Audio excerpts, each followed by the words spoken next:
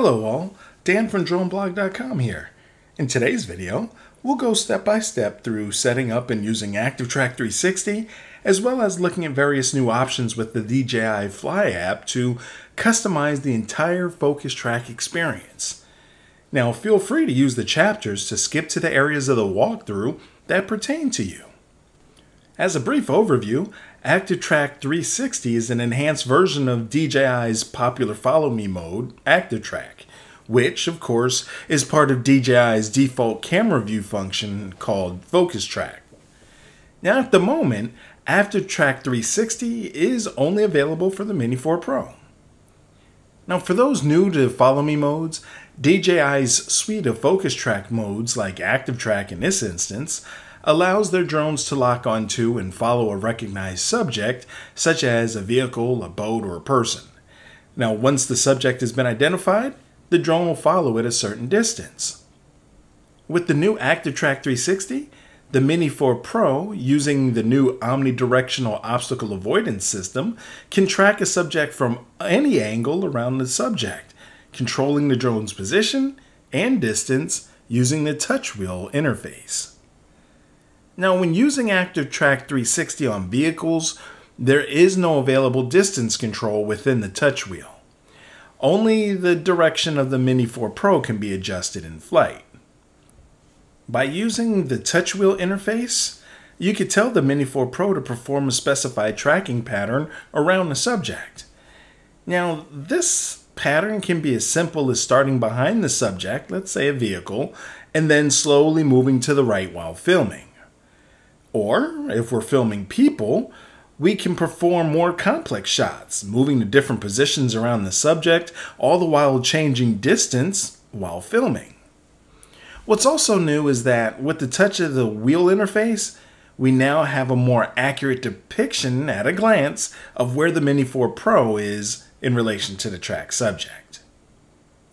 For a few, we're going to talk about how to use ActiveTrack 360. Now, firstly, here's an optional step. If you want to easily target a moving person or vehicle without having to draw a box around them, you have to enable subject scanning first. Now, with subject scanning enabled, all available on-screen subjects will have a plus over or next to them, allowing you to quickly tap the plus and track them. To enable subject scanning, go to the menu, then to the Control tab. You should see the subject scanning option near the top. Enable subject scanning with the slider to the right. To use the ActiveTrack 360, hover the Mini 4 Pro at a minimum height of about 6.5 feet from the ground. Now at this required height, the subject should be in a good position for tracking. Now, just draw a square around the person or vehicle you want to set as a target. As you select the target, there'll be three focus track options that appear on the lower side of the screen. There's Active Track, Spotlight, and POI or Point of Interest. The default mode will always be Spotlight, so press Active Track. When the green Go button appears, press the Go button and the Mini 4 Pro enters Active Track mode. Now here's something to note regardless of the position of the Mini 4 Pro, after it analyzes the surroundings, it will then fly to the rear view to start tracking.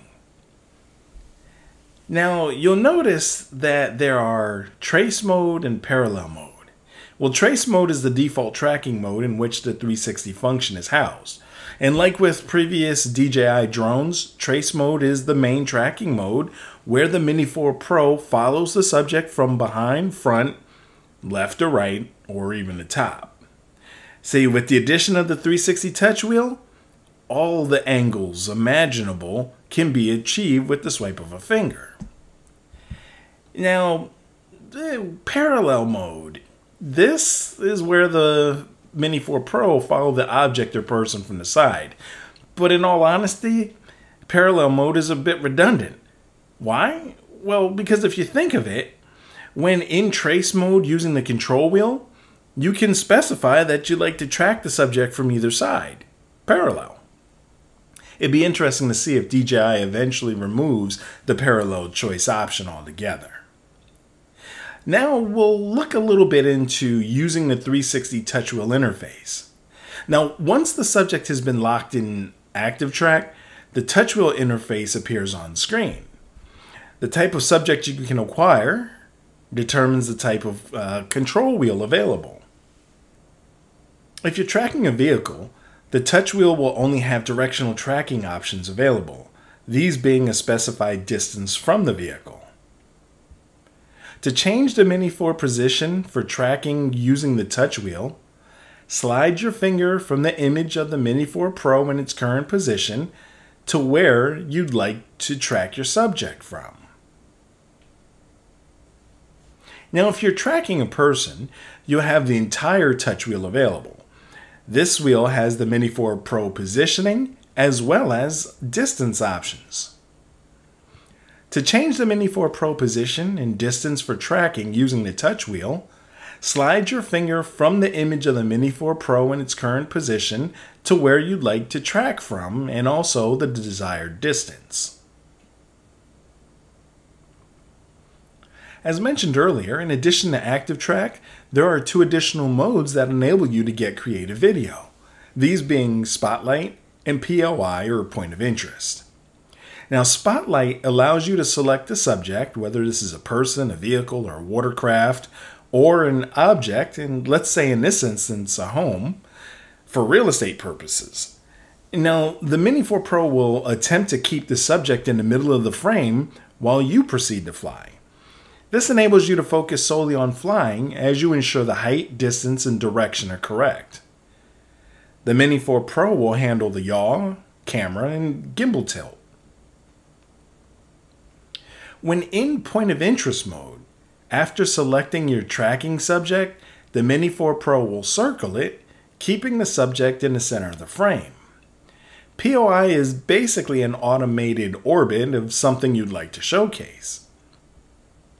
What is nice about this mode is that once your point of interest is chosen, you can specify the speed and the direction using the on-screen slider.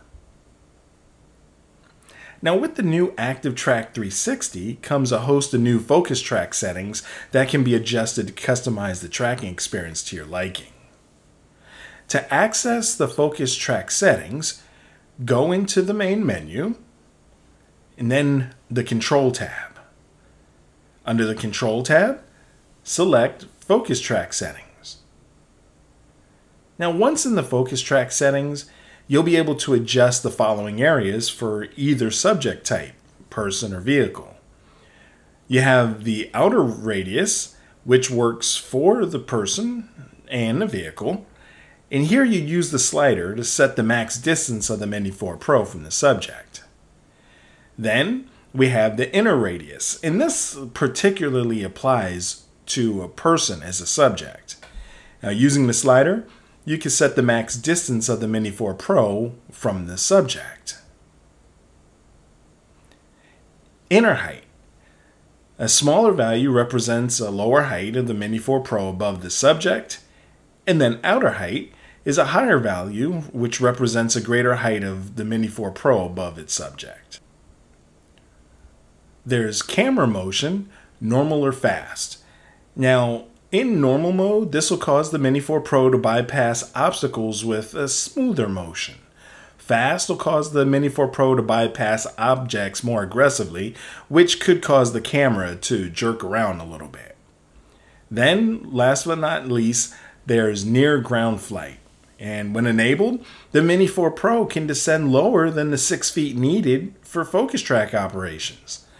This option also increases the chance of near ground collisions, so it should be used cautiously. Well, that's all for this video. If you have specific questions about this or our other videos, we'd love for you to join us at dronepilots.com.